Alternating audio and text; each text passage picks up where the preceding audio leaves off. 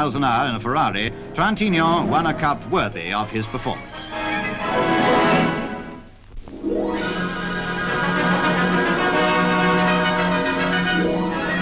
This building, once the residence of the British High Commissioner, is now the headquarters of the United Nations in Jerusalem. These observers are among many who are studying the relations between Israel and her neighboring countries. Key man at the headquarters is General Burns.